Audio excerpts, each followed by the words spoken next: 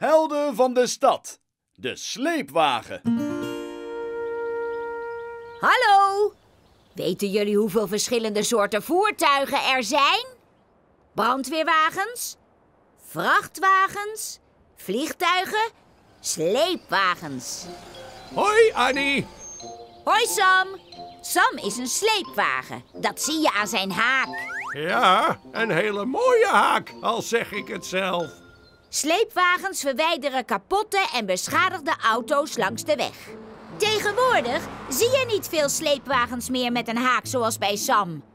Er zijn nu andere types. Ongelooflijk cool. Dat zei ik toch? In plaats van een haak hebben de meeste sleepwagens nu een metalen balk waarmee ze auto's optillen. Kraanarm genoemd. Deze manier is iets veiliger. Veiliger? Ik ben ontzettend veilig met mijn haak. Net als mijn grootvader. De veiligste. Dat geloof ik wel. De oprijwagen is een ander type sleepwagen waarbij de kapotte auto in zijn geheel op de sleepwagen wordt gereden. De auto wordt erop gereden met behulp van hellingplanken. Of de hele achterkant kan worden gekanteld zodat de auto erop kan. Er wordt ook vaak een lier gebruikt om kapotte auto's op de wagen te laden. Een lier is een soort krachtige kabel. Weer een ketting of lijn die vastzit aan Aan een... een haak. Ja, Sam. Aan een haak. Coole dingen, die haken. Ja, ze zijn heel handig als de auto in een greppel ligt. Met de haak en de lier wordt de auto op de weg getakeld, zodat die gesleept kan worden. Er bestaan ook oprijwagens die een kraan hebben. Daarmee kunnen ze de kapotte auto makkelijk op de wagen tillen. Kleine stadsleepwagens, zoals Sam, ook wel takelwagens geheten, kunnen maar één auto tegelijk slepen. Grotere takelwagens kunnen meerdere auto's tegelijk naar de garage brengen.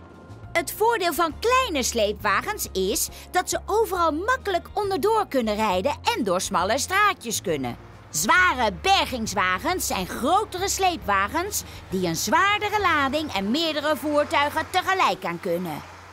Ja, sleepwagens zijn zowel aanpasbaar en sterk. Er zijn ook sleepwagens op het vliegveld die een heel vliegtuig kunnen slepen. Wauw, wat een groot vliegtuig. Ik wou dat mijn opa dit kon zien. Meer dan 100 jaar geleden, toen de eerste auto's op de weg verschenen, waren er geen sleepwagens.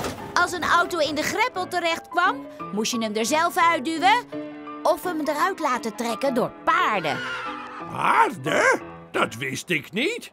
De sleepwagens werden voor het eerst in de jaren 20 gebruikt. Dus vanaf toen waren paarden helemaal niet meer nodig. Oh, dat was toen mijn opa jong was. Die goeie oude tijd, zegt hij altijd.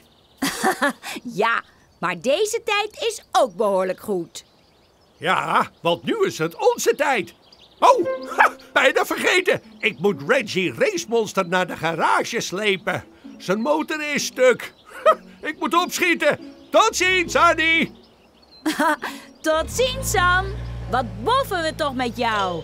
Altijd weer leuk om je te zien.